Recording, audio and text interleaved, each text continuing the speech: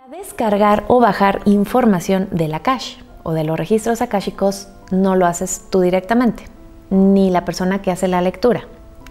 Se hace mediante tu guía.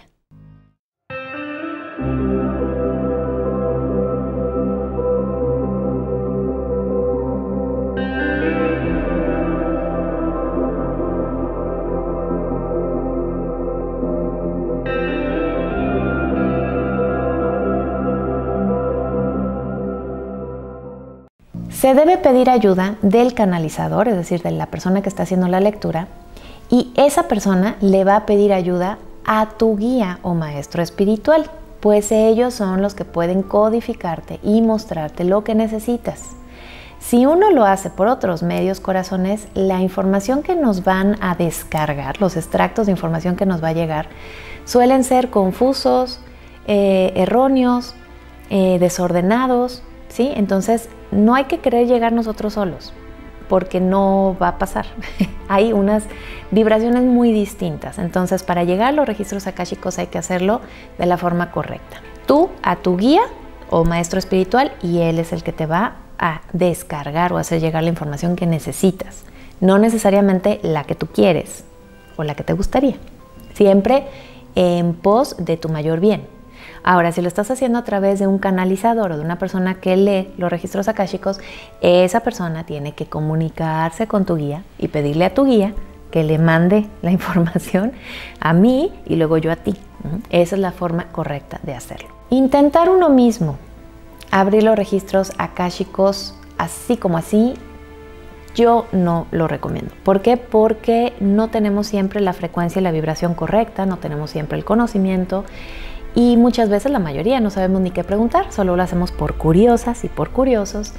Y lo que pasa es abrir una puerta y si no lo hacemos de forma correcta, lo que podemos llegar a recordar o que se nos descargue información son pedacitos de distintas vidas pasadas tuyas, pero generalmente densas. ¿Por qué? Porque como lo estás haciendo no desde un plano elevado ni sutil, ¿sí? no estás con la energía correcta ni con el conocimiento correcto, pues lo más cercano a un plano denso son las memorias densas. Y las memorias densas están cargadas de dolor y de trauma.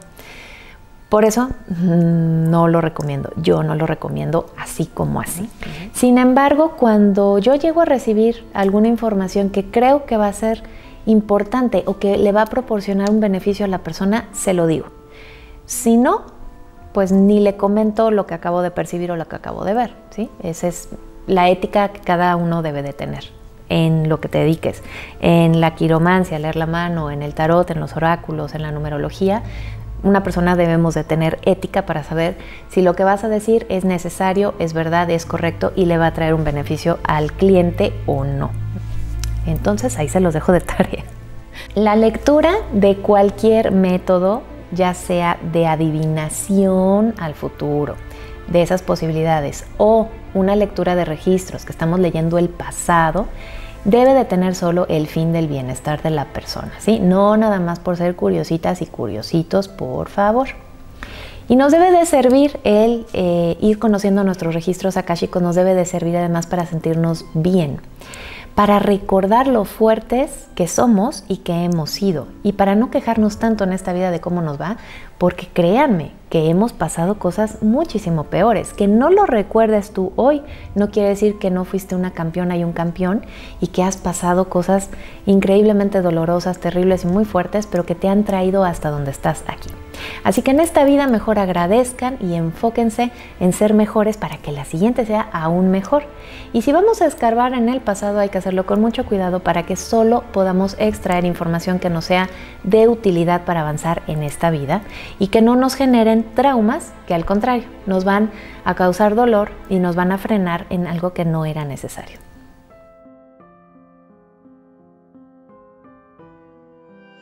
Pues corazones, muchas gracias por estar aquí. Espero que les haya encantado este video sobre registros akáshicos y que hayan aprendido un poquito más desde mi conocimiento, desde mi experiencia, desde lo que yo creo. Como siempre en cada video, ustedes háganse obviamente su propia opinión.